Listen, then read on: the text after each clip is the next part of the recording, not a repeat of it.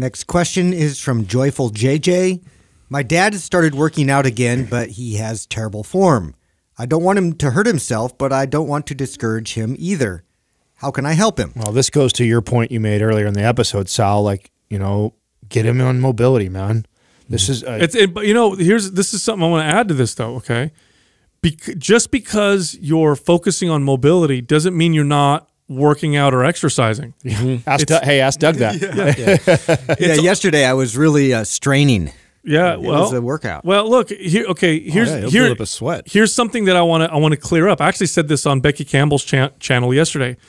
There's this belief that if you focus on correctional exercise and mobility, that you're going to get slower results. That you're not going to get as great a result. So it's either it's either or. Either I want the muscle building and the fat loss and the strength, or I just want to do correctional exercise and mobility.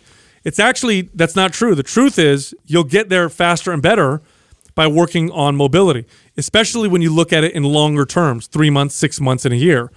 If you start your workout properly and you focus on correctional exercise, if you focus on mobility, not only are you going to are you doing it the better way with less chance of injury and all that stuff, you're going to get there faster and more effectively anyway. So the only choice is to do it. There is one right way, is my point. It's not mm-hmm. like, oh, you know, I'm giving one up for the other. It's only one that's the right way. And so start with mobility. That is his workout right now for sure.